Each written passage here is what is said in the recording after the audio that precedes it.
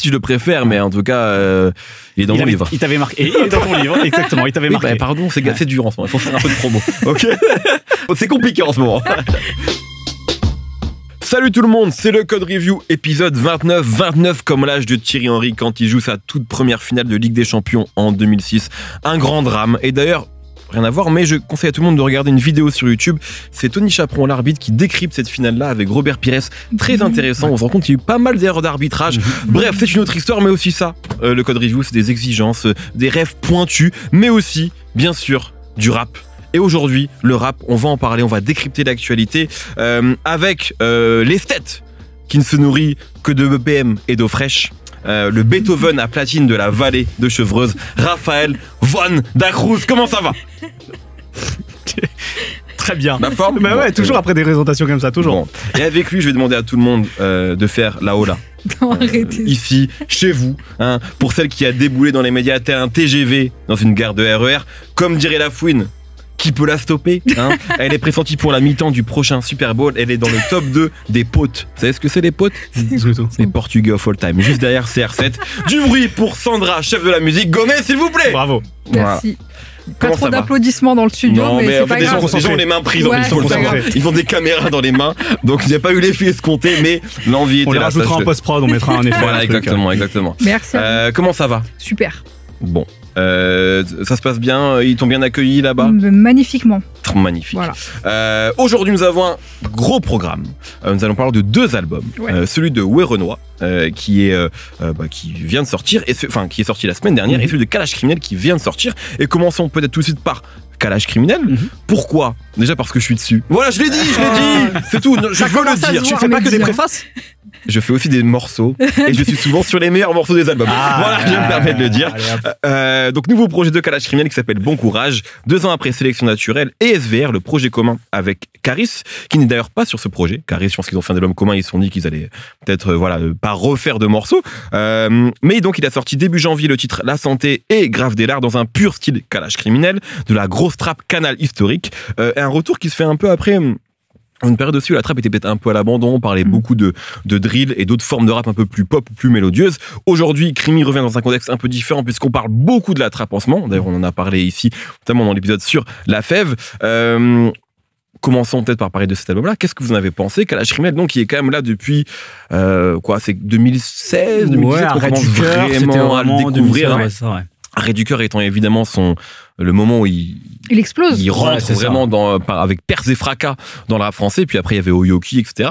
Euh, c'est quand même quelqu'un qui a, je trouve, réussi à, à construire une discographie quand même solide, qui est une valeur sûre du rap français, euh, mais qui est aussi un moment où euh, c'est c'est intéressant, c'est une tête d'affiche, mais on sent que euh, là, il y a toujours une attente autour de ce, Mm. de ce rappeur-là. Et euh, euh, il y a peut-être pas encore, est-ce qu'il y a encore eu l'album classique de Kalash Criminel, je sais pas, peut-être pour ses fans de la première heure, mais je sais pas s'il a vraiment l'album définitif. Est-ce que c'est celui-ci? Parlons-en aujourd'hui. Commençons, désolé, avec la chef de la musique. Bah oui, bien sûr. Maintenant, il y a des grades maintenant. je- J'ai bien compris, pas de souci. Euh, J'ai beaucoup apprécié ce, ce projet-là. Est-ce Déjà, que tu aimes bien Kalash Criminel avant? Alors oui, mais j'ai jamais été euh, voilà sur un, tout un album complètement convaincu. Je, je pioche Ouais. toujours dans sa discographie, mais je vais peut-être expliquer pourquoi sur cet album-là, euh, je vois une petite différence. Euh, c'est peut-être un de mes projets préférés de Kalash Criminel.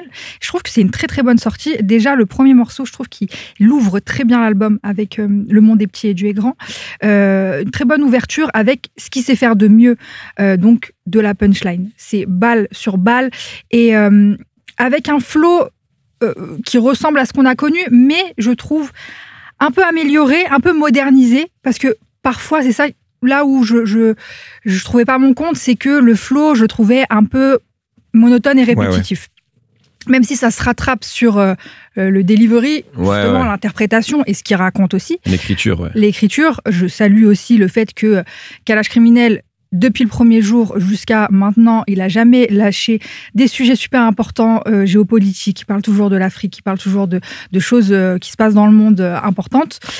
Je, c'est vrai qu'on dit souvent le rap, notamment le rap mainstream, il est plus engagé, etc. Ah ouais. Kalash Criminel, il l'a engagé, bon c'est un terme, c'est peut-être pas le meilleur terme, mais en tout cas il a toujours effectivement été ce qu'on aurait pu appeler avant un rappeur conscient. Il parle de plein de sujets, aussi bien sur le sujet géopolitique que euh, d'agression sexuelle. C'est un des rappeurs qui en parle le plus, euh, voilà, qui, qui, dénonce ça. Enfin, vraiment quelqu'un qui a quand même cette ligne de conduite depuis le début sur la politique, sur l'Afrique. Il est, euh, il est au rendez-vous là-dessus. Il est toujours au rendez-vous et il faut le saluer, il faut aussi parler de ça parce que c'est pas juste une euh, c'est pas juste de la trappe, euh, c'est pas juste une énergie. En fait, il y a aussi un, propos derrière. Euh, et ce que je trouve particulier dans cet album, c'est une ouverture à, plein de nouvelles influences. Et je trouve que ici, il arrive à faire des choses sur lesquelles on l'a pas beaucoup entendu et que je trouve assez réussi, même si c'est surprenant. Les deux morceaux un peu plus doux, fallait me le dire avant, et Kiss and Fly, bah, étonnamment, ça fonctionne très bien. Il est c'est beaucoup plus feutré il chante pas mal aussi. Euh, et, en fait, il arrive à switch entre ça et des morceaux hyper énergiques hmm. comme euh, ce que les fans vont venir chercher et trouver sur un morceau comme Trafic, par exemple, où hmm. euh, en plein milieu de certaines phases, il change de flow, il, crie. En fait, il n'y a pas beaucoup de rappeurs qui peuvent rester vraiment crédibles en, faisant ça. Et en plus de ça, en faisant des morceaux après très, très mélodieux et doux. Et en fait, pour moi, cet album, pourquoi il m'a plu? Parce que c'est un peu un statement aussi d'un rappeur qui a pris du poids et qui s'affranchit de plein de choses, mais qui arrive à être tout terrain, qui arrive à piocher dans plein de sonorités différentes. Euh, il y a des choses qu'on va préférer, bien sûr, mais en tout cas, je le trouve crédible et je trouve je trouve qu'il maîtrise tout, tout, tout les, toutes les directions euh, euh, qu'il prend dans cet album. Donc, bonne surprise. Voilà. Raphaël Dacruz, oui. Qu'as-tu pensé de cet album de Kalash Criminel? J'ai bien aimé, je serai un peu plus nuancé que Sandra euh, sur certaines choses. Euh, déjà, je trouve que Kalash Crimi, il fait partie de ce genre d'artiste un peu euh, inamovible, c'est-à-dire qu'il est dans sa ligne depuis le départ, et vous avez très bien décrit ça tous les deux, justement avant, et ce serait sans doute étrange qu'il en change complètement, même si parfois il peut faire effectivement des petites, petites variations des, nuances, mais moi, tous ces morceaux qui étaient peut-être un peu plus légers, un peu plus single sur les précédents albums, c'est pas là où je le trouvais le, le meilleur, quoi. Et c'est vrai qu'il a toujours ce rap entre euh, brutalité viscérale. Il parle beaucoup de violence, il a toujours cette violence cheville au corps, celle dont il a été témoin, etc., mmh. euh, celle qu'il voit dans le monde encore aujourd'hui. Et ça va très bien, effectivement, avec la trappe, comme tu le disais très bien. Mmh. Et euh, voilà, ce commentaire social et politique, pas nécessairement euh, de conscience ultra poussée, parce que parfois c'est juste sorti avec les tripes, quoi. il y a notamment un morceau qui s'appelle La Noire. Parfois, juste un nick ta mère au raciste, en fait, ça suffit. Il n'y a pas besoin de faire de mmh. longs discours, quoi. Et c'est ça que j'aime bien aussi chez lui, c'est qu'il n'y a pas de surintellectualisation de ça. C'est juste, il y a un espèce de constat, ça le touche. Une émotion, quoi. Ouais, je pense que c'est quelqu'un qui doit être très empathique, en fait, et que cette empathie, ça se, ça se ressort juste de manière euh, très viscérale et parfois ça suffit. Quoi. Et puis dans son écriture, en fait, ce qu'on parlait de l'écriture, mm. moi je trouve qu'il écrit bien, mais euh, ça peut sembler, et on l'a, on l'a déjà dit même, je pense en parlant lui, mais ça peut sembler simple au premier abord, alors que ça l'est pas. mais c'est aussi sa force, c'est qu'en fait il arrive à euh, parler parfois de choses complexes, mais de manière simple, exactement, au but. Exactement. Tu vois, donc c'est ce que tu dis quand tu parles, il n'y a pas de surintelligation, c'est que on peut pas dire que c'est pas bien écrit, mm-hmm. mais en même temps, euh, je pense que la première fois moi que j'ai entendu Kalash je me suis dit est-ce qu'il est bon ou pas mm. Parce que dans sa manière, dans son delivery, mm. tu dis mais est-ce qu'il a en fait alors que non, c'est il, maîtrise vraiment bien son rap, mais c'est juste qu'il faut capter aussi qu'il a son style où euh, euh, tu vois par rapport à un charisme par exemple qui peut parfois quand il arrive avec des je dis charisme parce que il, est arrivé un peu dans son avec lui. Son ouais. Et il euh, y a des métaphores complexes qui arrivent, tu vois, sur Or Noir, etc., même sur Avant, sur ces deux héros. Kalash Criminel, c'est vraiment droit au but, tu vois. Et, euh, et c'est sa force aussi, tu vois, c'est que tu comprends tout de suite de quoi il veut te parler, mhm. mais il te le dit bien. Il te le dit vraiment avec euh, une forme qui lui ressemble et qui, et qui est de qualité. Mais c'est vrai que ça, il a dès, le début, et je pense que il faut aller derrière ce côté qui peut sembler simpliste, alors que ça ne l'est pas, en fait. Exactement, il faut aller derrière la cagoule, quoi. Un petit peu. Exactement. c'est ça. Et du coup, moi, ce qui est, ce qui est intéressant avec ce disque, c'est comment ne pas refaire la même chose en étant justement dans sa ligne, dans son couloir. Et effectivement, c'est soit aller au bout des choses sur ce que tu ce que tu décrivais très bien sur le fait que c'est quelqu'un qui parle énormément, notamment de ce qui se passe en Afrique. Euh, et je pense évidemment à des morceaux de de le monde comme le monde est petit et Dieu est grand, Coup d'État, Nganou, le flow de Mobutu sur une prod trap. Pour moi, c'est peut-être le meilleur exemple de ça, justement sur euh, ce ce type de morceau euh, où il parle de sujets graves, sérieux, mais en gardant cette énergie très trap et cette brutalité. ou alors en allant au bout aussi de ce truc très viscéral, très brutal. Tu parlais du morceau Trafic pour moi c'est le meilleur. À un moment donné, il arrive à condenser euh, trafic, euh, euh, pardon, Centrafrique et Chief Kiff dans, dans l'espace d'un refrain. Et je pense que ça résume assez bien les choses. Mmh. il y a tout cas criminel. Exactement. Puis même, il a des formules, tu vois. On parlait, on parlait de son écriture les rafales font des suçons, tu vois. Mm. Juste en fait des images comme ça, ça défonce. Ouais. Euh, et puis voilà, il y a toutes ces nuances, un peu ces nouvelles nuances musicales qu'il arrive à prendre. Mine de rien, il y a un morceau comme Yes Yes Yes qui est euh, clairement du Griselda en Ouais. fait, et Ouais. sur lequel il, il espace son flow. Euh, c'est quelque chose justement pour quelqu'un qui avait justement un delivery très mitraillette ou très euh, brutal. Ouais. C'est euh, c'est surprenant de l'entendre Ouais, sur un juste comme ça. J'aime beaucoup le morceau Le recrutement de Ben Laden parce que ça fait très rap français des années 2000 et je trouve que ça lui va très bien avec ces petits euh, motifs de, de tintement de clochettes qui sont euh, pff, très présentes chez lui depuis Ouais. son premier album. Donc je trouve que ça marche hyper bien. C'est Steph Baker qui produit et c'est euh, peut-être un de ceux qui font euh, qui, qui sait mieux le faire ce genre d'ambiance rap des années 2000 aujourd'hui.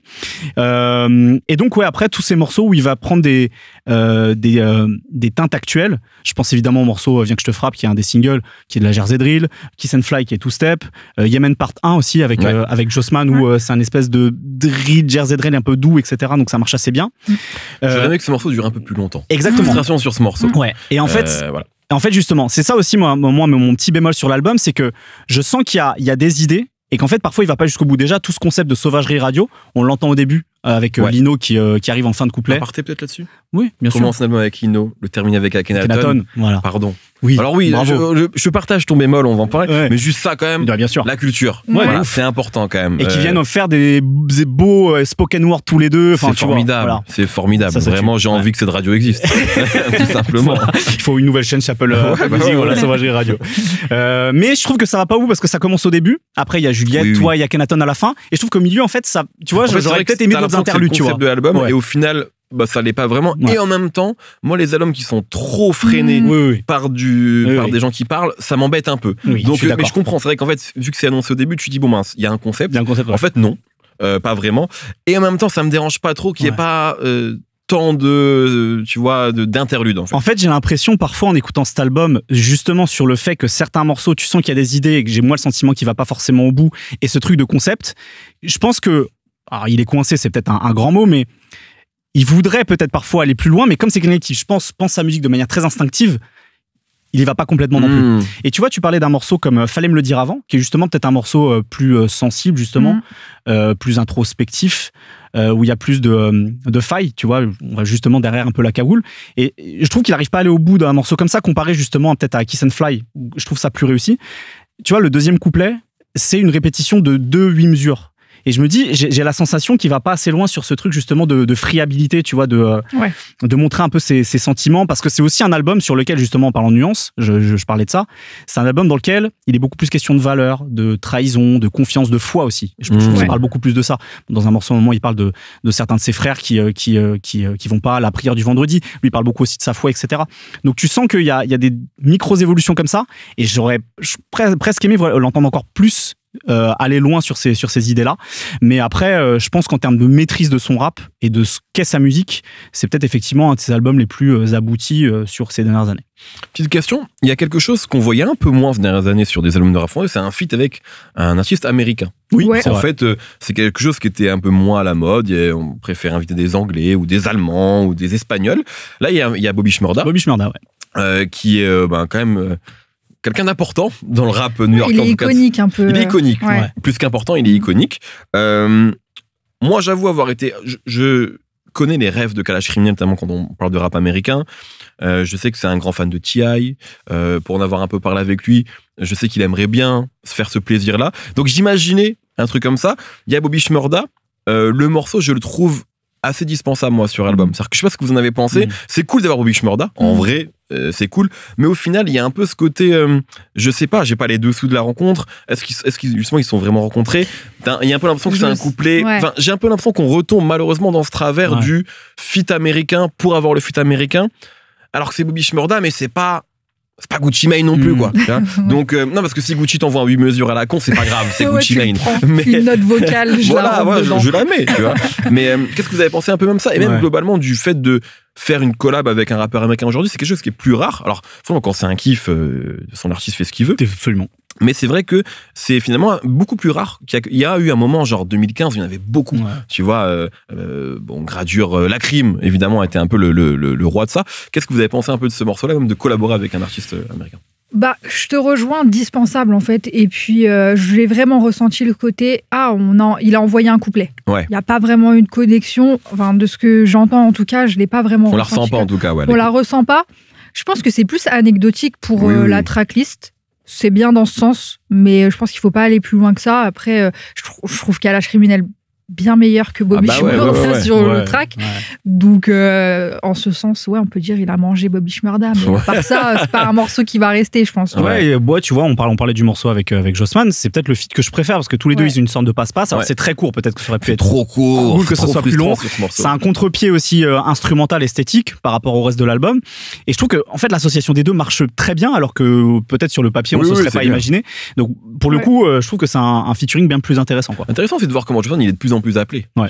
Parce qu'on l'a vu, bah, on en parlait avec euh, Les Ram, par Mhm. exemple. Mhm. Des artistes avec qui il n'a pas forcément de d'affinité tout de suite en tout cas Évidente, après c'est des rappeurs cas, mais ouais. évidente avec. Kalash criminel il y avait eu un film même à l'époque avec Kilargo Ouais. Euh, enfin c'est quand même quelqu'un qui aime bien aussi se mélanger à chaque fois c'est je trouve qu'il se il rentre bien dans le dans l'univers d'autres même si le feat avec les Ram c'était plus enfin ça ressemblait un peu à un morceau de Jossman Oui, c'est ce qu'on disait. Euh, mais euh, allez streamer Kalash criminel ça s'appelle Bon courage très belle cover de Fifou Ouais. aussi Ouais. euh, qui euh, qui c'est aussi euh, d'ailleurs bon quand même beau début d'année de Fifou on peut le dire Ouais. Euh, la cover de pièces montées d'Aidan Nekio Itachi Mhm. très non mais c'est Ouais, vrai c'est- très belle cover très belle cover. Kalash criminel mais avec Kalash criminel il s'amuse toujours parce Ouais. que sélection naturelle c'était aussi une Ouais. très C'était c'était une belle cover aussi. une très belle cover. Euh, continuons donc ce code review avec un autre représentant du 9-3, c'est Renoir qui sort son album Pyramide. Et c'est clairement, alors là, le gros blockbuster de ce début d'année, euh, puisque Ah les feats ce sont Damso, SDM, Ayana Kamura, SCH, Maes. Hamza Mm. Euh, Donc vraiment c'est le T'es casting pas dessus euh, sur celui-là, non hein, On t'a pas appelé euh, Peut-être sur la rélise, non, pas du tout. Bref. C'est vrai que SDM l'an dernier, c'est vraiment devenu bah, un des gros poids lourds du rap français avec la Mhm. sortie de l'album Carré. Il y a eu les télégrammes aussi, 1 et 2, les, les EP. Bref, il a vraiment une stratégie un peu de d'omniprésence avec un album qui a été un énorme carton, avec un, un trophée des flammes qu'il a Ouais. gagné. D'ailleurs, il en parle dans Mhm. l'introduction. Il dit qu'il allait aux flammes uniquement parce qu'il était sûr de, de remporter le trophée. Bon flex. Euh, Oh, c'est- assez insolent. C'est ouais, c'est- une bonne vibe. C'est assez Ouais. insolent. Euh, mais voilà, en tout cas, c'est quelqu'un qui est euh, très, euh, voilà, qui est déjà installé en tout cas dans le rap français, euh, qu'on ne connaissait pas vraiment il y a, il y a, il y a deux ans. Euh, et d'ailleurs, dont on sait assez peu de choses de lui. Ouais, ouais, tu ce qu'on vois. connaît. euh, Exactement, c'est ça qui est intéressant. Tu vois, c'est il y a un peu ce côté un peu tueur de sang-froid euh, Mhm. dont on ne sait rien. C'est ça. Euh, et alors, j'aimerais le dire quand même, alors parce que sans rentrer dans les, les polémiques, etc., et notamment sur les, les clashs qu'il peut y avoir, mais moi, c'est vrai que la première fois que j'en ai entendu parler, je lis, c'est en 2021, c'est via Sadek qui m'en avait parlé, Mhm. puisqu'on sait qu'ils ont travaillé ensemble. J'ai pas les dessous de tout ça. On sait que maintenant, ils ont l'air d'être en, en, En guerre. en froid, en guerre, on peut le dire. Mais la première personne moi qui m'en a parlé, c'était en 2021, c'est Sadek. Quand il, juste le dire quand même, parce que c'est, je sais qu'ils travaillaient ensemble. Il travaillait, lui, il était, en- il allait sortir Aimons-nous vivants. Ça, c'est cet album-là, absolument. Et il me parlait d'un nouvel artiste qu'il avait envie de produire et qu'il avait découvert, qui s'appelait euh, Werenois. Et il croyait énormément en lui. Il était persuadé que ça allait être un, un carton. Après, je sais pas du tout ce qui s'est passé Mm. entre eux. Euh, mais bon, là- là-dessus, en tout cas, euh, entre ce qu'il m'a dit et ce qui s'est passé, il a plutôt eu raison Ouais. puisque c'est un énorme euh, carton. Et je pense qu'il y a aussi quelque chose avec euh, Werenois dans un registre très différent, mais un peu comme, tu sais, tous ces artistes-là qui, sortent leur musique et qui sont qu'on n'entend pas. euh, après, il y a aussi ce côté mystérieux qui fascine, je pense, autour de lui. Euh, Planet Rap, il est venu, il, il, parlait pas. Enfin, il y a vraiment ce côté-là. Je pense que ça renforce un, un personnage. Ça peut être frustrant, euh, mais ça renforce un côté très magnétique et peut-être aussi intimidant. Ouais, ce ça crée français. même des affabulations euh, Tout à pas fait. possible, tu vois. ouais. Bah, Il y a énormément d'affabulations, notamment, enfin, il y a eu même eu des vidéos entières de youtubeurs sur euh, C'est un industrie d'où plante. il vient, est-ce que c'est un industrie plante, etc., etc. Donc ça, ça crée beaucoup, beaucoup, Mm. beaucoup euh, de questions. On n'a pas la réponse parce qu'on on n'a pas eu l'occasion de, s'entretenir avec Mm. lui. Je l'ai jamais rencontré, mais euh, en tout cas. Ça crée beaucoup de fantasmes. Et généralement, c'est enfin, pas forcément un problème pour les artistes, parce que les fantasmes, il y en avait beaucoup autour de PNL à l'époque. hein, Mhm. les nombres de fantasmes qu'il y avait autour d'eux. Bref, ça les a pas empêchés de, de faire leur chemin. Mhm. Euh, la question, qu'est-ce que vous avez pensé, bien sûr, de Renoir? Est-ce qu'on peut durer sans se dévoiler? Parce que pour l'instant, il donne assez peu de choses de lui.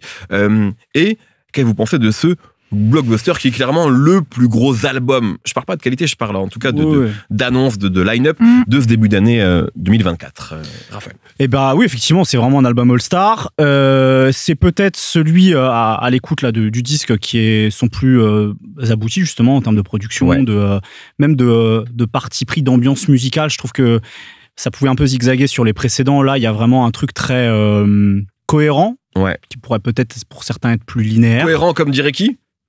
C'est cohérent, Rollo. C'est moi. Moi, je suis là pour te faire br- briller. Voilà, c'est Voilà, un caviar que je te donne et puis tu l'as pris. Bravo, c'est une lucarne, c'est tout. Écoutez, euh, Dieu merci encore de. Voilà. Dont t'avais parlé dans un coup de cœur. Exactement. Euh, mais pour revenir à, à Werenoi, donc ouais, je trouve ça bien, bien calibré, euh, mais je m'ennuie à l'écoute de Ok. sa musique et de cet album aussi. Je comprends l'intention de départ de ce rap de, de Bandit, justement, tu disais très froid. Ouais.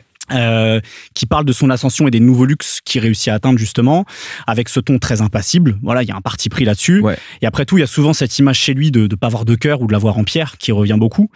Euh, Ça et c'est- aussi, c'est cohérent pour le coup, sur tout le Absolument. projet. et c'est peut-être volontaire de sa part, justement, pour participer Ouais. à ce, ce- ce truc de bandit sans sentiment.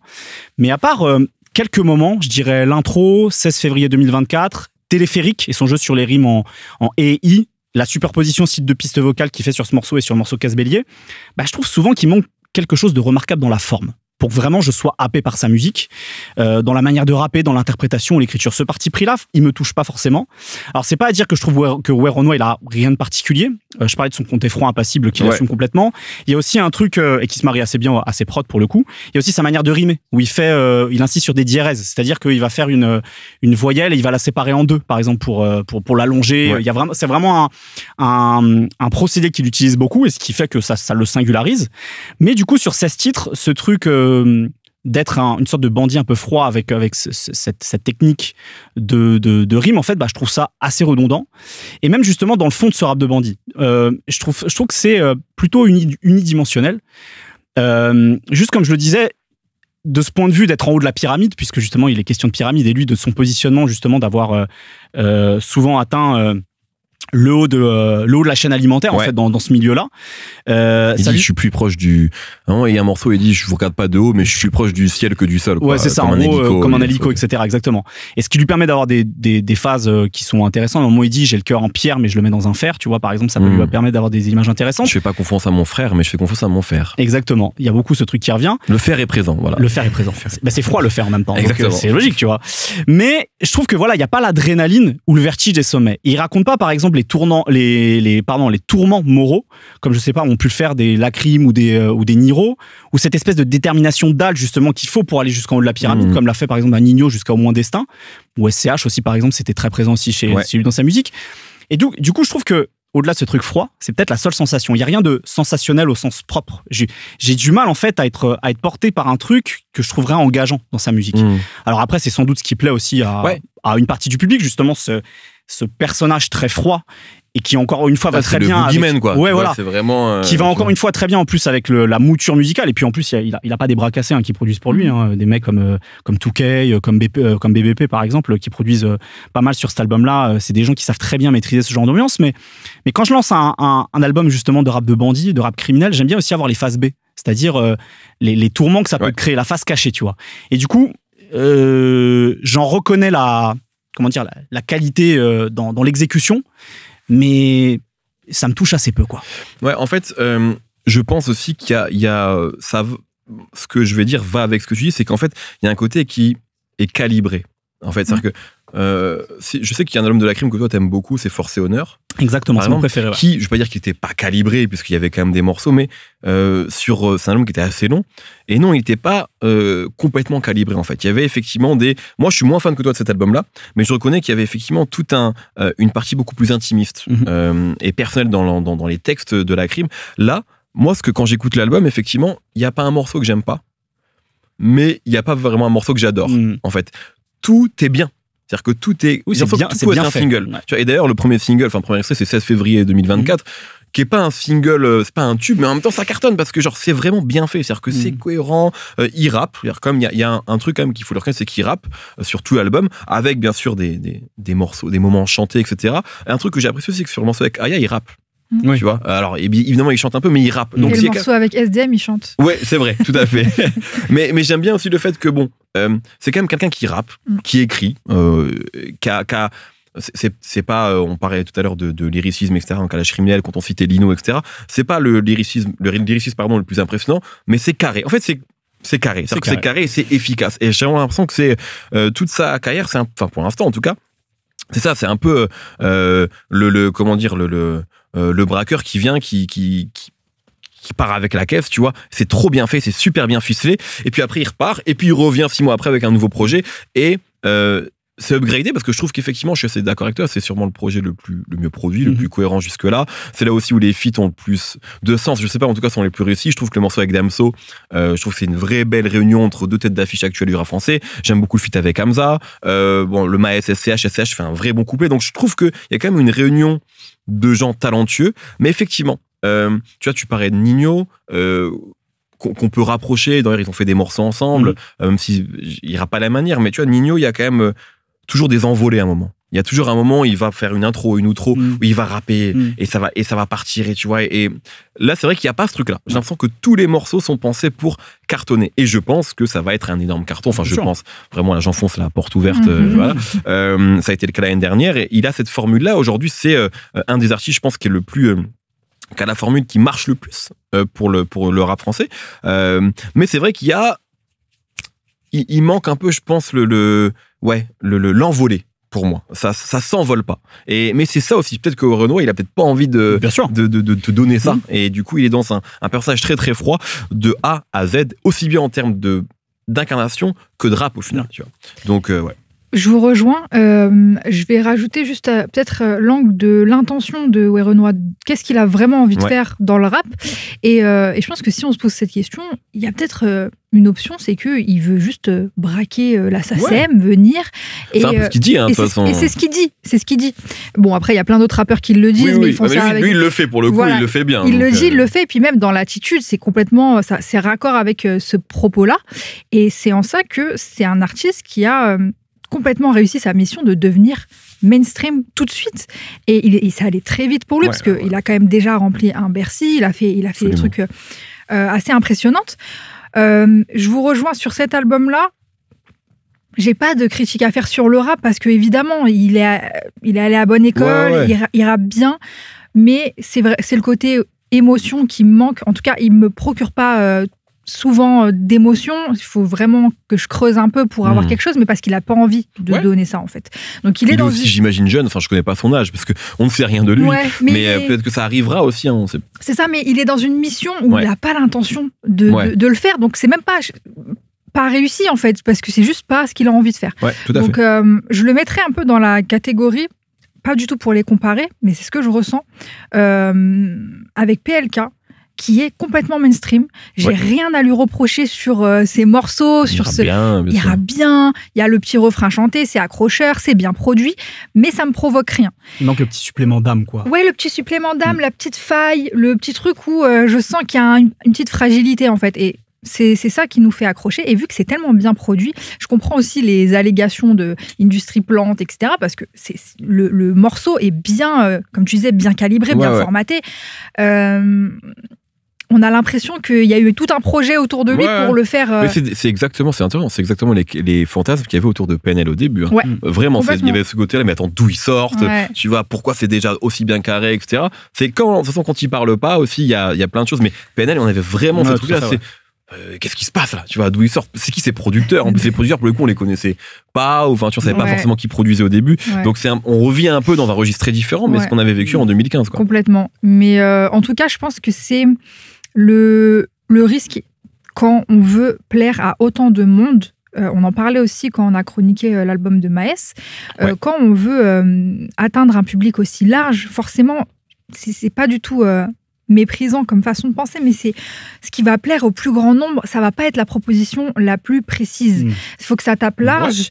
Et, euh, et du coup, on va pas dans un. Il n'y a pas de, de- d'engagement dans, dans ce qui va être fait. Il n'y a pas de prise de risque. En fait, on fait, on, on fait euh, les choses bien, mais ça Ouais. reste un espèce de cahier des charges de, de- du rap actuel. Et en ça, il le fait bien. Mais pareil, je, je, je reviens pas dessus. C'est pas désagréable, mais je reviens pas dessus. En fait. Mmh. Ouais, tu vas peut-être piocher euh, un ou deux morceaux, effectivement. Ouais. Je pense aussi que là, c'est même pas pour, euh, c'est même plus largement de. Je pense qu'il y a aussi pas mal d'artistes maintenant qui, qui voient euh, leur musique comme ça, c'est-à-dire pas forcément euh, comme un album, Ouais. mais comme une sélection de morceaux qui va être playlisté. etc. Ça, c'est quelque chose, je pense, qui est très présent. C'est même pas une, enfin, une critique. C'en est un peu une de ma part parce que moi, je suis attaché aux albums Pareil. et que d'ailleurs je parlais avec euh, je sais plus sur quelle interview que j'ai faite ici il y avait une, une personne de label et on parlait un petit peu avant l'interview. Elle me disait mais t'écoutes encore des albums toi? Elle est en label hein, tu Mhm. vois et donc elle, sort elle défend des albums. Et je dis ah ben moi tout le temps c'est qu'en fait moi je n'ai pas de je fais des playlists pour mon travail mais je n'ai pas de playlist. Je n'utilise pas de playlist. J'écoute des albums tout le temps. Euh, y, co- et y compris parfois tu sais il y a des albums genre je vais les lancer à la première piste. Si le morceau que j'attends vraiment c'est à la quatorzième mais que mon trajet s'arrête avant j'aurais pas écouté le morceau que je vais écouter. Mhm. mais je vais et voilà. Et donc il y a un peu ce truc là donc moi j'y suis attaché à titre personnel mais c'est une écoute aussi qui je pense est de plus en plus obsolète puisque Ouais. cette personne elle me disait mais vraiment? Genre mais moi j'ai juste des morceaux que je like et puis j'écoute c'est et c'est comme ça je pense que beaucoup de gens fonctionnent aujourd'hui donc dans cet écosystème là penser en tant qu'album, c'est peut-être parfois un peu obsolète. Alors, il y a des contre-exemples, évidemment. euh, récemment, Esprit Noir, par exemple, qui a fait un album, etc. Mais je pense qu'il y a beaucoup d'artistes qui, au- aujourd'hui, effectivement, euh, réfléchissent comme ça. Et Mm.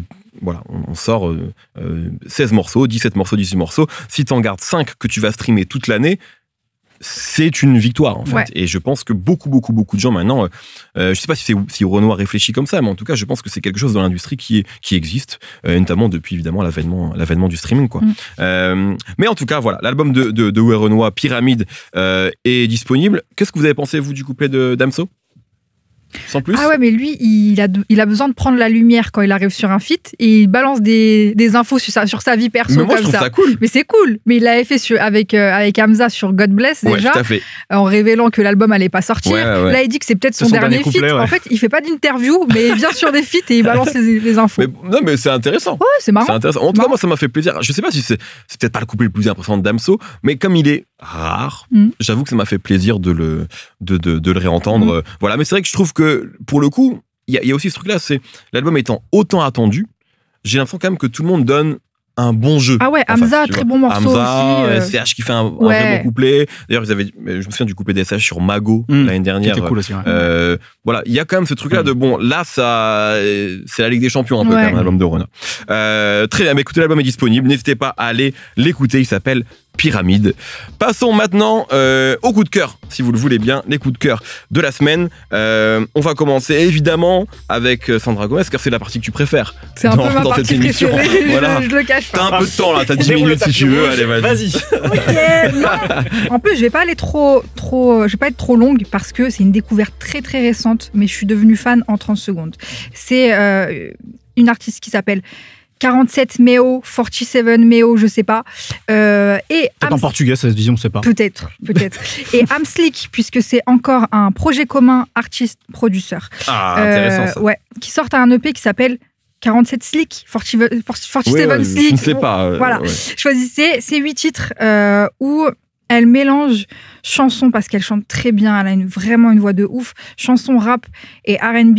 Euh, les prods, c'est euh, il y a pas mal. Bon, c'est ce qui se fait actuellement que j'ai déjà euh, plébiscité ici, tout ce qui est up tempo, two step, mélangé avec de la trap et même des petites sonorités jazzy. Elle vient d'une famille de saxophonistes. Il y a Ah, donc tu connais ces- quand même déjà des choses sur elle. Je suis partie me renseigner. Je sais pas comment ça se prononce, mais tu Ouais, sais j'ai- non, mais- euh, ce que faisait son père, son Exactement. oncle. Ouais, son ça, c'est est- Sandra, son, son père est saxophoniste. je vous assure.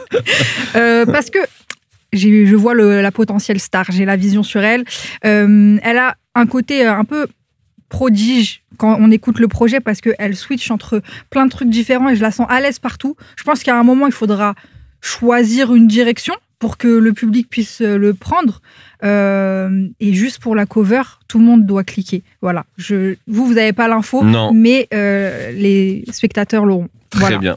Euh, donc, euh, 47 mai. oh. Oh, 47 mai. oh. Voilà. Voilà. On l'a dit, maintenant ce sera comme ça. Ok, en tout cas pour nous, ce sera comme ça. baptisé. Euh, Raph, Euh, je vais vous parler d'un morceau d'un rappeur qui s'appelle SPM, qui marque son retour après euh, trois ans euh, sans avoir sorti de musique. Oui. Ce morceau s'appelle Le Roi du Silence. Alors, pour ceux qui ne connaîtraient pas SPM, bah, Alors, déjà, c'est pas bien. déjà, c'est pas bien. Écoutez Déjà, Noblesse Oblige, qui est sorti en 2015. absolument. Qui est Et, un- au- et également Haute Voltige. Toi, je sais que tu préfères Moi, j'adore. encore, Je sais pas si je le préfère, mais en tout cas, euh, il est dans il mon avait- livre. Il t'avait marqué. Et il est dans ton livre, exactement. Il t'avait Oui, marqué. bah, pardon, c'est c'est dur en ce moment. Il faut faire un peu de promo. Ok. c'est pas compl- c'est compliqué en ce moment. mais euh, non, mais j'aime j'aime beaucoup les deux. Ouais, les deux Noblesse. Oblige, c'est c'est vraiment un album qui m'a beaucoup accompagné, que j'ai Ouais. trouvé super, que je trouve toujours super. Euh, depuis, euh, il a ouvert un studio notamment, donc euh, Noble justement. Ils ont essayé de produire des artistes, enfin ils font, ils font, font plein de choses avec son équipe. Ouais. Et donc euh, sort ce morceau, Le Roi du Silence, euh, qui euh, effectivement est, est un, un album qui est assez fidèle à, à sa ligne de conduite. C'est-à-dire que c'est du rap de la discipline, de la droiture, de la hauteur, euh, aussi bien d'âme que de point de vue sur le rap, sur le climat politique de notre époque et en fait sur, sur l'existence de manière générale. Quoi. Et ça, je trouve qu'il le fait toujours très bien, surtout en rappant toujours très bien aussi. Ouais, ouais. Et justement, ce, rap de, de la hauteur, ça va, ça va bien avec cet instru euh, tout en lévitation, méditative, un peu sombre à la fois. Euh, pour moi, j'ai toujours euh, senti un peu SPM comme une sorte de, euh, de, euh, enfin, dans la lignée un peu d'un Ali, quoi, dans sa manière de, de voir les choses, Ouais, de ouais. rappeler les choses. C'est de la spiritualité aussi parfois, sans, sans être Ouais, dans- ouais. forcément dans la foi, quoi. Tout à fait. Même si, si, si je pense que c'est quelqu'un de croyant au vu de, de ce qu'il de ce qu'il rappe et de ce qu'il raconte. Et bref, je trouve ce, ce, ce morceau de retour super bien. Je sais pas si ça va conduire sur un album, un EP, sur une sortie, bref, mais juste ce morceau-là, moi, m'a m'a beaucoup plu. Et puis c'est vrai que un peu de silence dans ce bruit ambiant du moment, euh, ça fait du bien. Voilà. Très bien. Alors, on me dit qu'on n'a plus beaucoup de temps, donc je vais aller très vite. Euh, EP commun de Myro et Jeune Crack. Ah. Voilà. La baston. Euh, on y va, c'est évident qu'on allait en parler, mais bon, c'est seulement trois titres. Euh, ça s'appelle La Solution. C'est euh, très très bien, mais ça marche vraiment bien entre eux. hein. Ah Euh, ouais. Merci, bonne journée. Moi, c'est un des morceaux que j'ai pu écouter l'année qui était présent sur Quel morceau Omar Chapier. Euh, ils s'entendent vraiment bien. Et puis, ils ont quand même pas mal de rêves communs. Ils ont aussi ce truc-là en commun dont on a déjà parlé, c'est... euh, euh, euh, comment dire ce que je- ce que j'appelle moi un peu les phases satisfaisantes quoi. Tu vois c'est à dire qu'en fait on te donne des trucs et si tu la comprends c'est si tu la comprends pas c'est pas grave c'est bien c'est du bon rap. Ouais. si tu la comprends tout devient bon, génial bon. dans ta vie à ce moment-là ouais. tu vois. Euh, et là il y en a beaucoup dans ce projet là Myro en fait beaucoup Ah Jeune Crack en fait énormément. Il y a aussi beaucoup de rêves. Bon toujours à Jeune Crack beaucoup au foot. Le premier morceau s'appelle Catenaccio. Moi c'est typiquement voilà c'est un, un projet que j'aime beaucoup. Je trouvais les prods très cool aussi. Mm. et quand j'ai écouté ça, je me suis j'ai- du coup je me suis un peu fait aussi la rétrospective de Myro l'année dernière, bien sûr Omar Chapier, mais aussi le projet avec Jean Jass qu'on a déjeuné en paix, qu'on a sur lequel je t'ai passé un peu rapidement et que je trouve vraiment très très cool avec vraiment des, des, des, des morceaux et des phases mortelles. Le projet avec Slimka aussi, sur lequel je t'ai Mhm. passé encore plus rapidement. Donc, euh, donc voilà, mais voilà. En tout cas, Myro à Jeune Crack, la solution, c'est mortel. Ça rappe trop, trop bien. Ça rime trop bien. Euh, et c'est cool aussi maintenant que les artistes fassent de plus en plus comme ça des projets un peu, des trois titres. des- exactement. ouais, ouais. À Jeune Crack avec Hologram Low il y a très peu de temps, avec notamment ce morceau avec Infinite. Euh, J'aime bien cette idée-là. J'aime bien cette idée que le, ça, c'est un truc peut-être que le streaming permet aussi. Ouais. C'est, euh, euh, t'as une idée, en une semaine, tu fais un projet. Enfin, je sais pas combien de temps ils l'ont fait. Ça va vite, tu le sors et les gens sont contents et, Mm. et voilà. Et ça, j'aime bien cette, cette idée-là et cette possibilité-là qui est laissée aux artistes. Euh, voilà, nous arrivons. Et j'ai appris aussi que Fast Learner de My Jeune Crack allait rentrer en pays sur France Inter. Magnifique. La culture va gagner. Voilà. Le rap a gagné. Le rap a déjà gagné. Oui. Euh, merci beaucoup. Sandra, Bah, merci. Merci à vous. Bah, voilà. Merci à toi, Raphaël. Merci à vous. Et merci à vous. Merci voilà, à on se retrouve dans deux semaines. Je sais pas de quoi on parlera. En fait, je crois que je sais. À dans deux semaines. Salut, bisous.